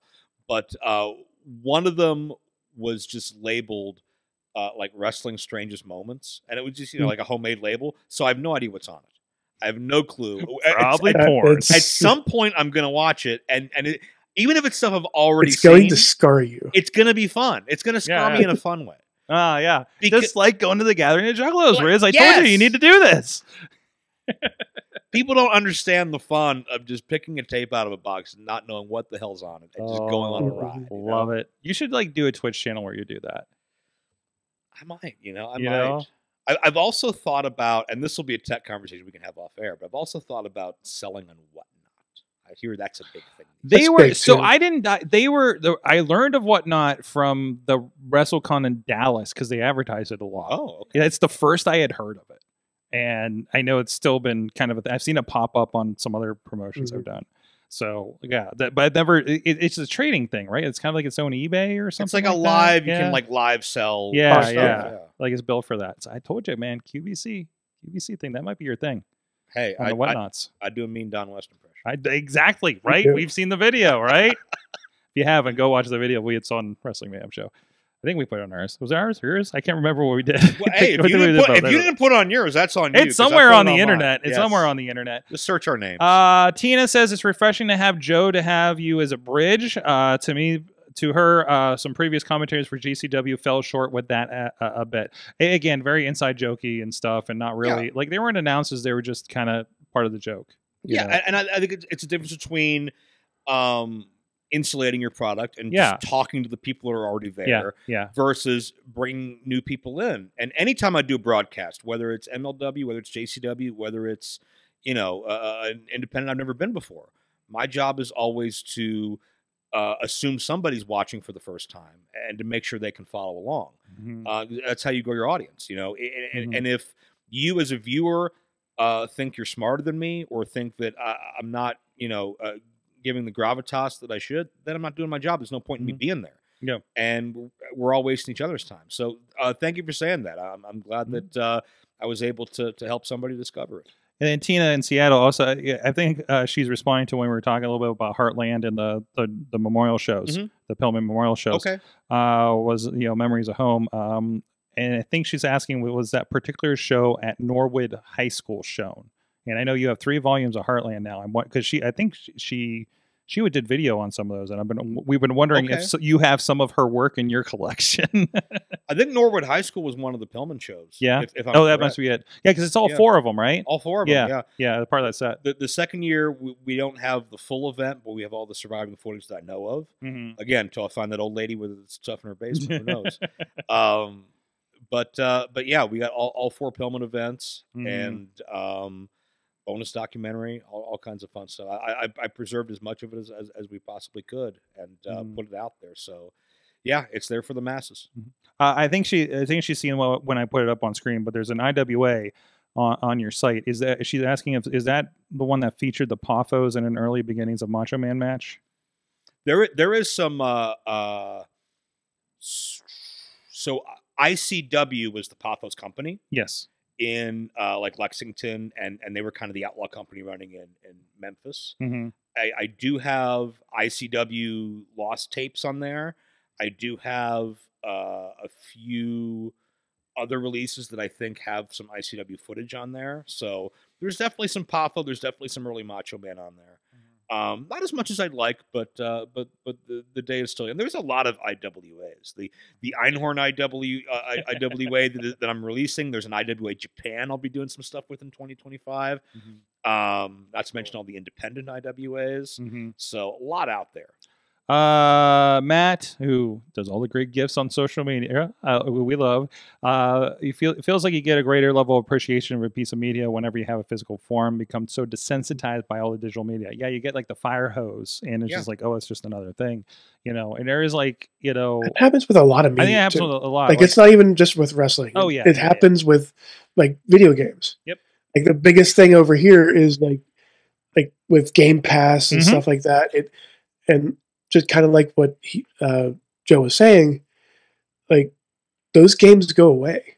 I, Like those, they don't stay there forever. I was pontificating with somebody a couple days ago. I think this was I think this was when while we are watching the pay per view on Saturday night, and I remembered the oh why didn't we like spend so much time with X Y and Z thing like kind of thing, and I was like, I was think and I drew back to I was like you realize like growing up a lot of us had three channels, wrestling was probably on Sunday morning, and instead of the internet to fill all those gaps, I had a video game magazine and a wrestling magazine that came in every month and I would pour over those over and over again for the month because that's all I had coming to me to get more of this thing that I loved to follow. I, think that's one thing that that this generation misses out on Mhm. and won't un- ever understand is that anticipation. Right? Yeah, yeah. you know, Monday Night Raw goes off the air, and oh my God, it's crazy. We'll see you next week, and then. Oh my God! I gotta wait. See what happens next. You Mhm. know, you had to wait five, six days for the weekend shows, or you found uh, uh, one of the first tapes that I ever got that was outside of like the mainstream wrestling was uh, IWA Japan Kawasaki Dream, the deathmatch tournament, Mhm. Terry Funk and Mick Foley. Um, just to see that and like it's it's in like grainy Japanese lettering on the cover and like there's a, a bunch of bloody faces on it. It, it just Oh feel God. it feels dangerous. it feels illegal, right? Yeah. It feels like you're not supposed to watch it. And then you get it, it might be like fourth generation. It's got tracking issues. You got to squint to see it. But you appreciate it that much more because you had to work to get it. Mhm. And it's great that everything is is at the drop of a hat, and I could I could literally just never leave my house and just watch wrestling on a loop and never see the same thing twice. But you don't appreciate it as much because it's it, it's at your fingertips instead of something you got to scour for. Um, awesome. Hey, also from the chat, real quick. I don't know if they're out there, but shout out to our friends at Warrior Wrestling that apparently uh, popped in on the YouTube. Uh, just said, "Oh, these guys." so even you, Riz, apparently, I don't think you went to Chicago with us. I Man, go to those were good. I miss Warrior Wrestling. I miss So Warrior bad. wrestling too. Yeah, uh, I mean, I'll take it. Uh, I'll, I'll Riz take misses Warrior Wrestling too. Yes. Yes. exactly. Hey, but we we are the soundtrack and the eyes and ears of so much of those broadcasts. I broadcasts. know. I and, uh, know. Principal Steve and uh, and Dominic and the whole team out there. It always did such a great job. They're doing cool stuff Yeah. though. I mean, I it, it, I've been seeing the videos pop up of of you know doing the breweries, the bounce park they did a show in. did you see that? I didn't. You know the best part is, is I don't think they book Frank the Clown anymore. So really, we all win. I mean, yeah, we end, all win. right? Mhm. So, Um, God, I think I saw him in the distance WrestleMania weekend or something. it's just like and it brought back all the memories. You Well, at least I didn't like feel like I needed to throw up like that one show in Grand Rapids. Were you on that show? When I almost threw up in the middle of the show, I think so. Yeah. and it was during a Frank the Clown. St- It always is. It was so. I was like, I li- like, and I couldn't let that go on social media. I'm like, I literally had to ask for a puke bucket during, like, legitimately. It it turned out for be for a different reason that was really peculiar, but it was just like, what are the, what's the timing here? You know, um, That's so why you're a pro. Yes, yes. I remember when he called our footage WCW Thunder when we couldn't find somebody in the crowd because they fought on the crowd and into the dark, and we're like, we can't see anything, guys. And he just like, "It's an old WCW Thunder out there." like, I was like, "Fuck you, Frank." I was so bad. Oh. Bless his heart. Oh my god. I was supposed to talk about Survivor Series in this segment, but I kind of don't care right It's- now. I don't it- know. it's we got War Games this week. it's weekend. happening. It's gonna be great. Um, inner workings, Paul Heyman, CM Punk. Oh my God! They, everybody, men, grown men are crying again. Um, or whatever the case may be. But no, There's I- so many people doing a lot of deep dives on a lot Oh. of professional wrestling. oh my God! When you start seeing. Like you know, like every time there's a Marvel trailer, somebody goes in and tries to go and dissect every little thing in the background and what it could be and how it relates to the Paul comic Heyman book. wink. this. Heyman wink. Like, Did you see Paul Heyman wink? Did you see him wink at him? You see that wink? Yes. Yeah, you see the wink the to Jey? one where the one where Paul Heyman is wearing the same, same- suit that Solo Sikoa used to wear. Like, what the hell are we doing? I love that though. It's I- so That's- great. that's that- perfect. That's, that's such a far cry from from being spoon fed everything. yes. And feeling like you're an idiot for watching it, even though you're not supposed to. Mhm. Um, it, it- it gives people a reason to pay attention. It- It, it shows you that details matter. And I think one of the biggest problems was just how superficial everything used to be, Mm-hmm. and everything was in a four week cycle. You build your PLE, and then it happens, and then we forget everything that happened, move on. we just built a match that doesn't even And- happen on Survivor Series. It's going to have a Saturday night's main event between uh, Cody and Kevin Owens.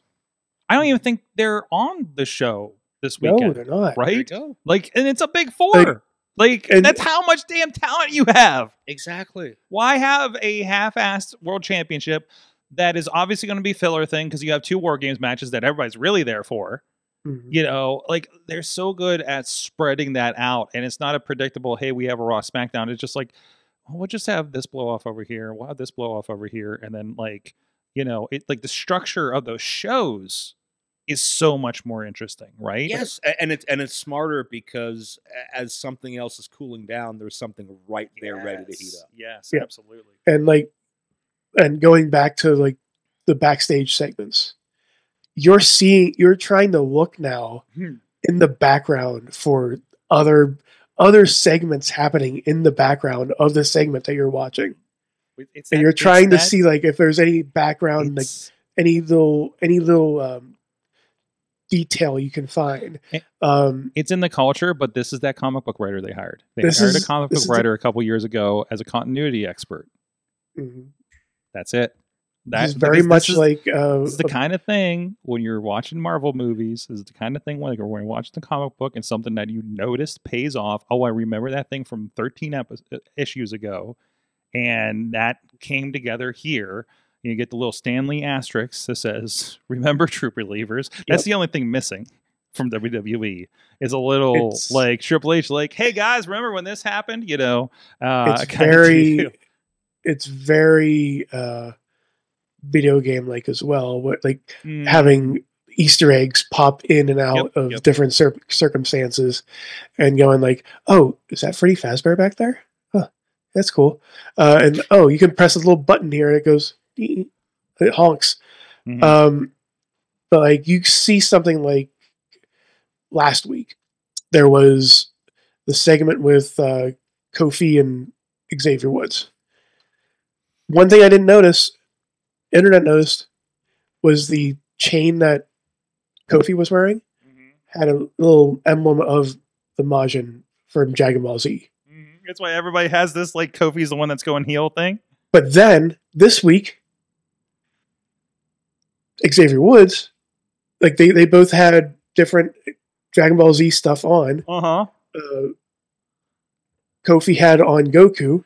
And Xavier had Black Goku from the Yes. Super Series, which is like evil Goku.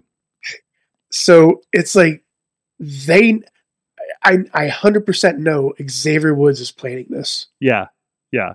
Like he's doing this bit by bit, and it's amazing. Mm-hmm. It's what's drawing me to this now. Mm-hmm, mm-hmm. Like, and then now that pulls in your little geekdom is like, I know Dragon Ball. I know this means this. I know, like you're a layering on top of layering. It's like ah, it's like a damn onion of storytelling. Great. So, but my God, the crazy wall keeping the story together in the back has got to be amazing. That is Yes. like a word document. I don't want to see freeform, one of those new whatever the hells.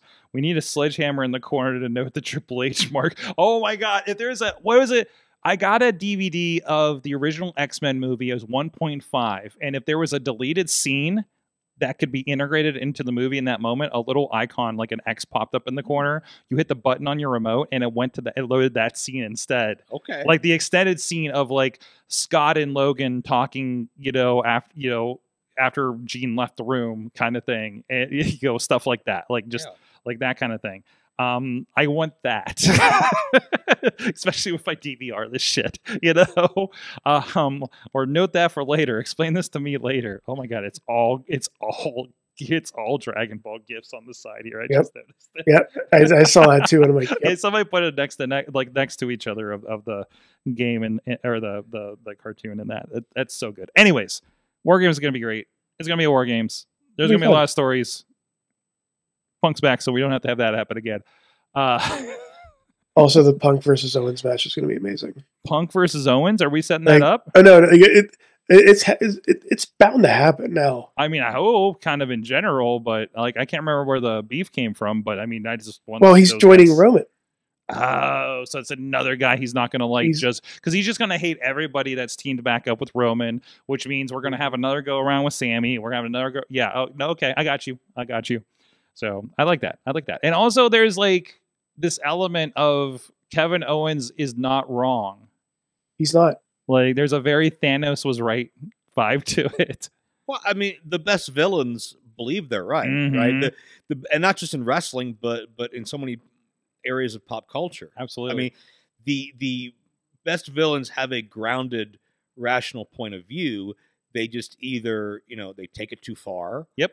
Or they have flawed logic to it. Yeah. Or whatever the case, something that makes the audience go, "Oh, well, maybe he's got." Oh no, that's too much. yeah. Yeah. Yeah. And, and then you're off the boat. I was with you till Yeah. this point, you know? Exactly, but but it, it's it's grounded in some type of logic that you know it, we don't need the the the uh, old school you know uh, uh, comic book villains twirling their mustaches, tying the girl to the train tracks, right? No, it no, can no, be no. more nuanced. I mean, we could do that. uh, we could. Well, I mean, you might be. I know you do some shady sh- uh, stuff in Western New York, so you might be doing that already. But uh, I, I think it's uh, just a situation where um, the more nuanced uh, that character is, the more realistic it is, because there isn't black and white in the world. Mhm. There are shades of gray. You Mhm. know, Mhm. um, you you could name the the most evil person you can think of that you know right now.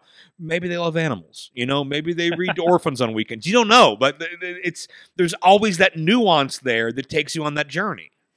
Absolutely. Um, so way, while we watch the Survivor Series, I'm sure we'll tweet about it or something. It's a six o'clock start time too. Really, Yeah, six p.m. Eastern time. that's interesting. That's I'll be on the road. Is wh- there a when it UFC happens? yeah, yeah. And yeah. it's also it's also my birthday that day. I'm assuming that's why they're doing this. Happy Survivor Series Day. Why, Yeah. thank you. Yes, and Survivor Series to you, and a War Games to you too. War Ga- yes, Merry War Games to all. Merry War Games to all. Well, one day you can celebrate. One way you can celebrate, maybe when you get back from your trip, is our friends on Slice on Broadway. They've done some birthday pizzas for us before, and our friends sometimes in the shape of Hello Kitty.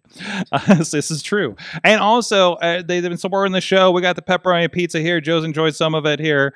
Uh, perfect pepperoni pizza supporting Pittsburgh podcasting. New York City style yins are made so many locations around the city. Don't kick in the door, partner. Sending us pictures last week. Um, but I also, they don't know this. I'm starting a Oh, new no. campaign for them because I had a conversation with a fellow on the phone, the wonderful Uh-huh. people of Slice on Broadway. He said, Rico, we need we can get this into Rico's here. And I was like, because I was like, I thought it would be great tonight if we had like a Thanksgiving feast pizza, right?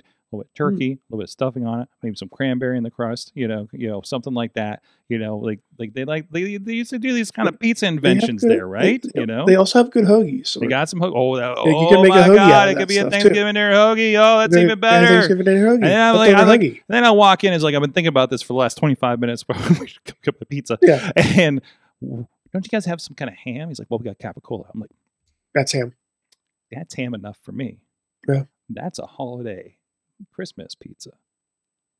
Starting point. Because I'm like, what? You got like like Hawaiian pizza or something here, right? He's like, oh, you do the capicola. I'm like, oh, well, there you go. I was like, get this Enrico's ear. We'll be messaging him. And that's why I'm asking you, Mayhem Nation, you're going to reach out. You're going to get on your X, no, not Xbox. No, X- Xbox. what whatever social media you're on, go find Slice on Broadway. Did they update their social media yet? I hope they have. Oh, that's the wrong thing. Uh, oh, that's not them at all. Uh, sliceonbroadway.com. What- what- are Go to you sliceonbroadway.com. Figure out which social medias they're on these days. I don't know what anybody's on. You have to double check that now. Uh, do your due diligence. Hit them up and, and on on whatever social media and be like, listen, holiday pizza, ham, whatever you think of for what's a Christmas? I can't remember what Christmas dinner is. It's the one without turkey, typically, right? Ham. Ham. Ham. Just ham. Just Chris, get your Christmas Just a whole bunch of fish pizza, on one. Give me your turkey dinner hoagie, and and there you go. And then Just we're gonna help Just make a sandwich, that has, a pizza that has seven different fishes on it. It's perfectly fine. seven fishes. Oh, it's an wait. Wasn't that an Italian thing too? That's an Italian thing. I thank you, the bear. Um, so I yell hands in the kitchen. now, because of them. I yelled hands the other day. I was like, you should have yelled hands if you needed me. It's like that's for plating. I'm like, it's still how what I respond to. Um, anyway, sometimes I yell hands when I'm doing production too.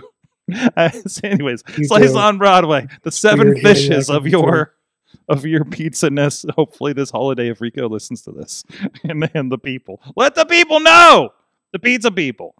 Okay, I got that out of my system here.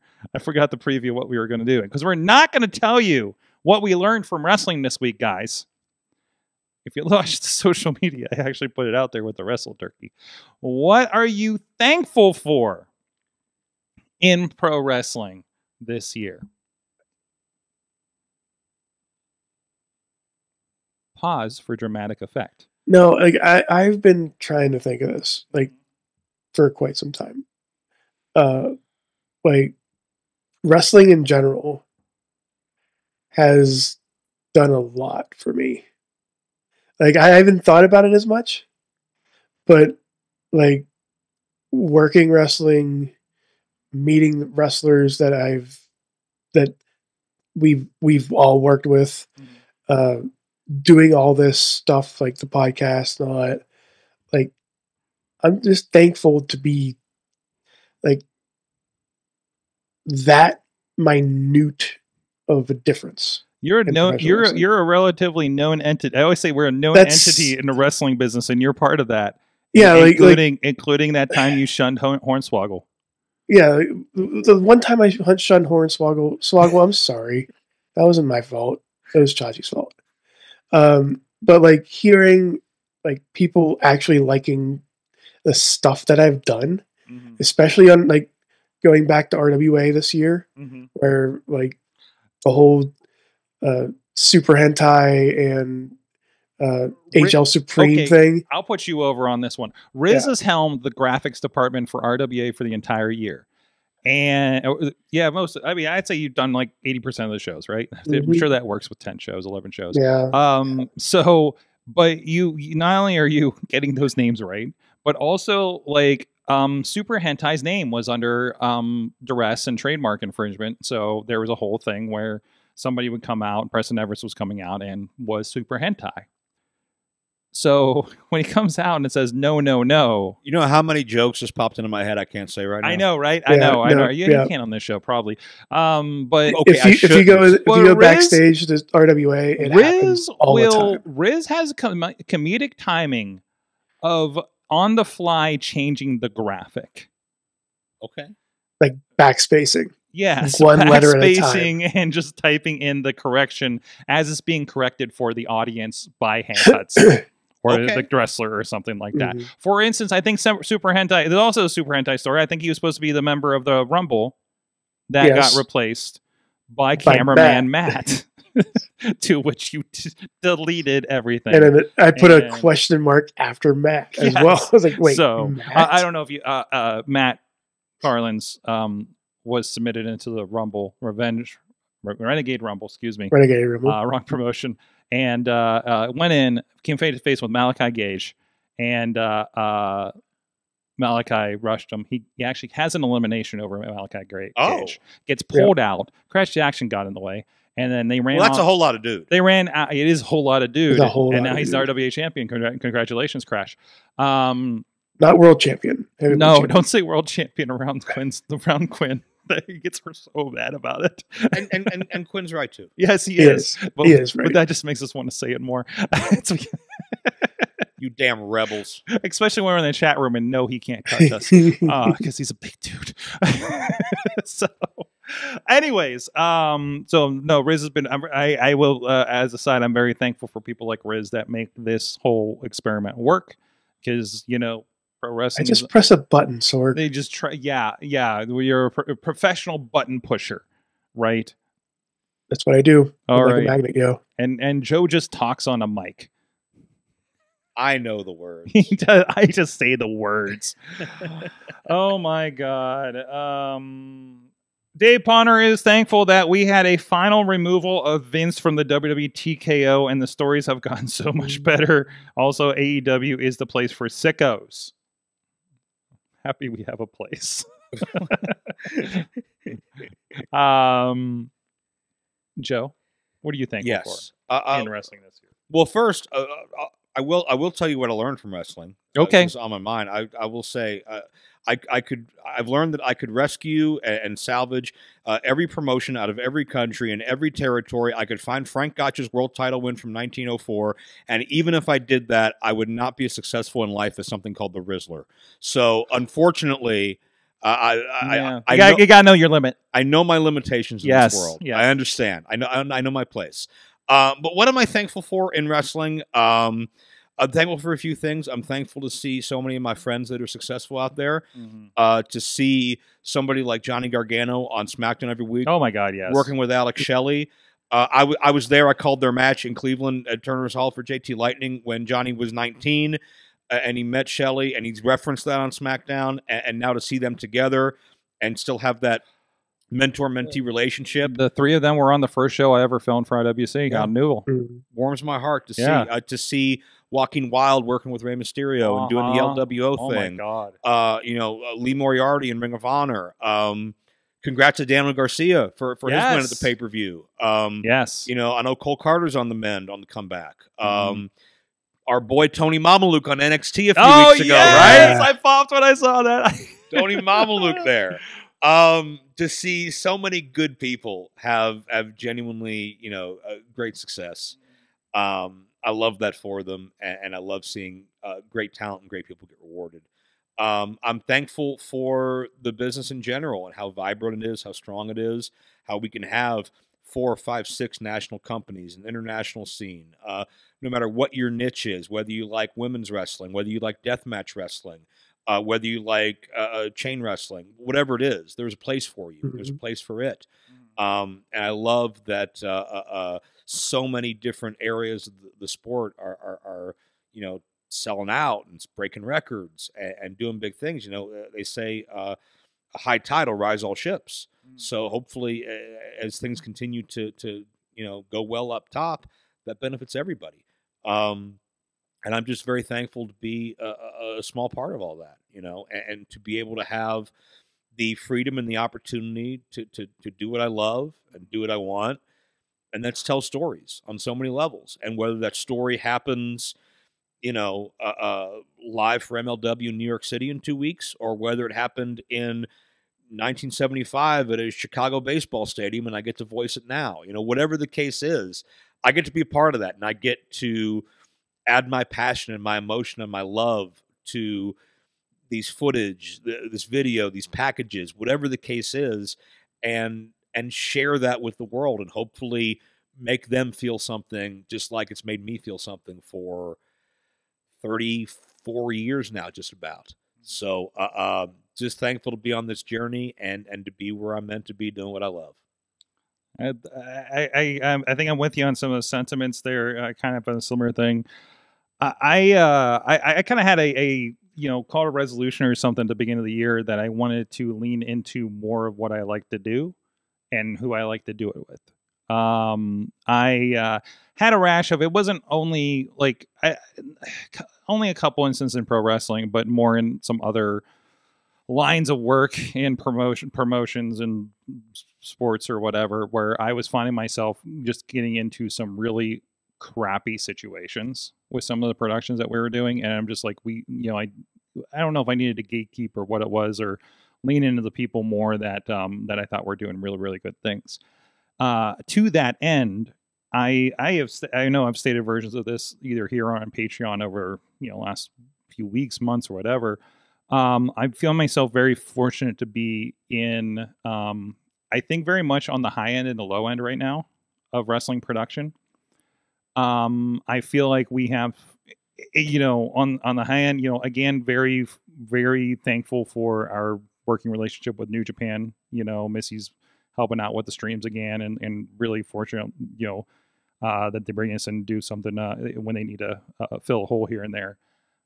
but um, you know, obviously, um, NWA Exodus is the most TV ready place I've worked with, and that's learning that organization. Joe, I know, I know you. This is old hat to you. You've seen these places like on this level, you know, for a while now. But um, you know, other than you know, Rich showing me at a Warrior Wrestling, you know, uh, how these kind of shows go come together on the back end in the organization and how to make them run better in general like you know just getting little bits of that and and maybe you know not every wrestling promotion is on like that uh, whole page together right and that's definitely happening at a place like like they're they're obviously getting people ready to go on NWA TV, right? And it's been so like, and I've seen those people on other shows that we do with some of our partners, and it's like real, realizing how much they just how they present themselves look light years beyond some people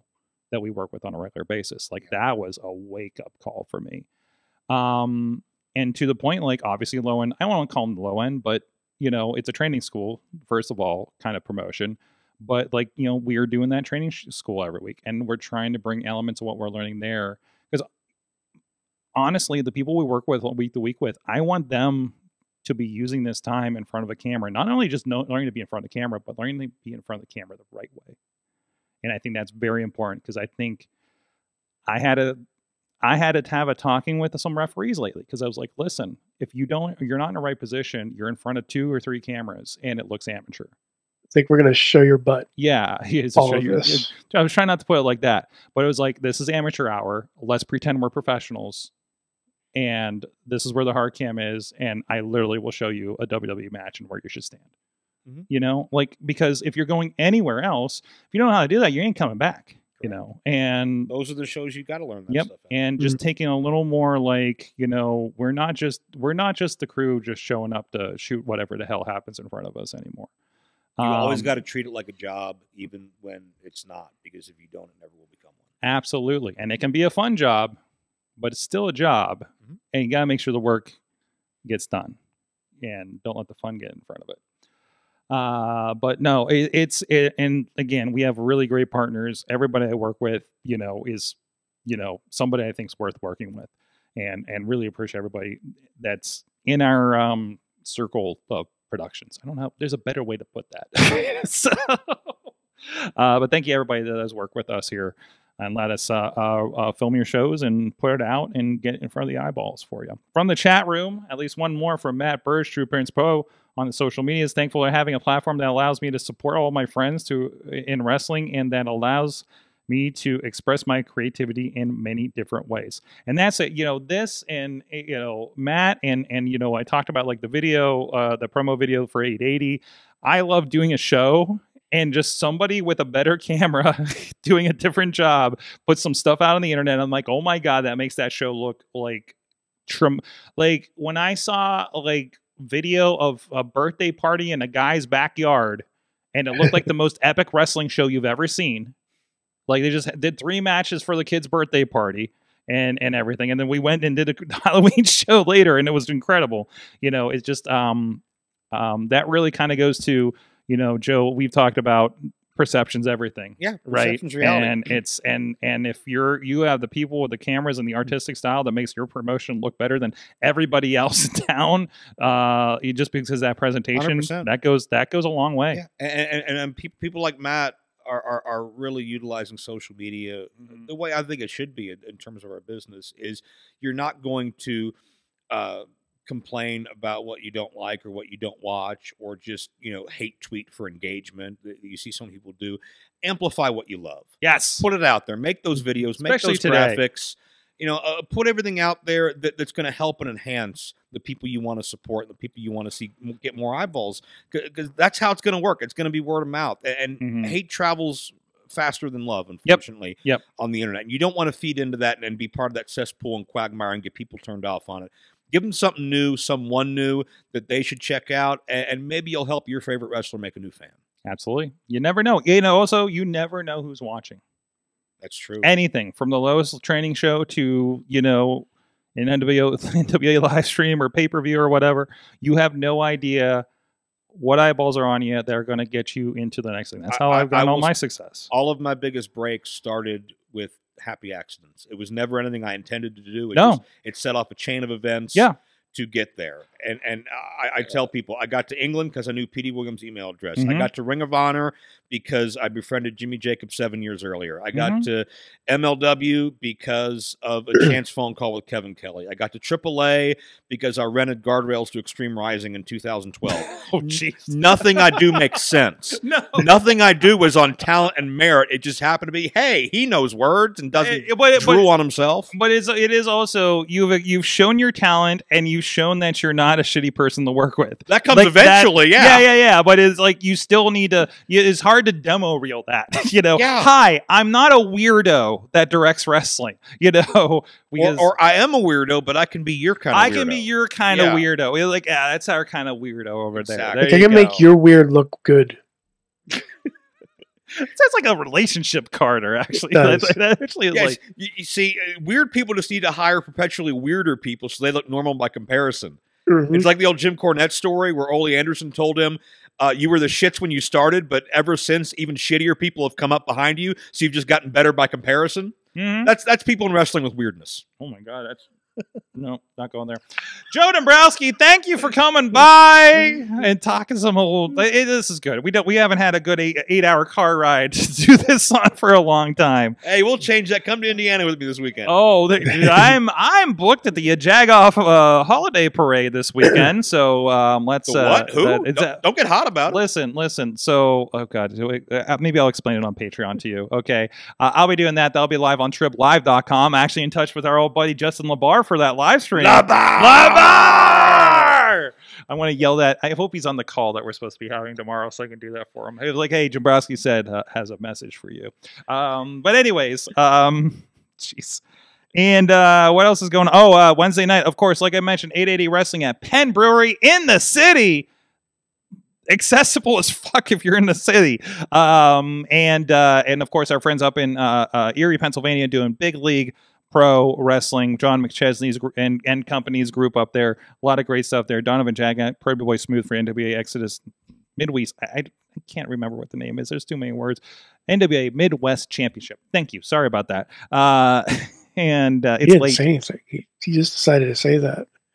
He said, he said thank you. You'll thank me later.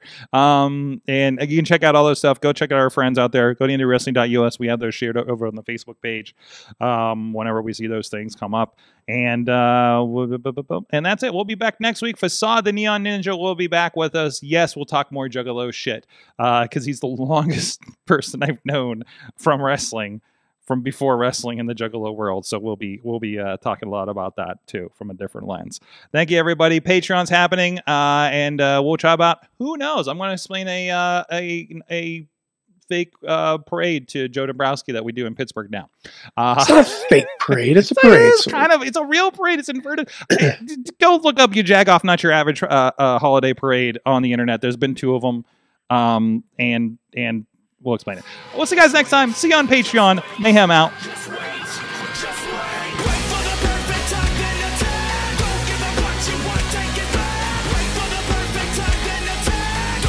This show is a member of the Sorgatron Media Podcast Network. Find out more at sorgatronmedia.com.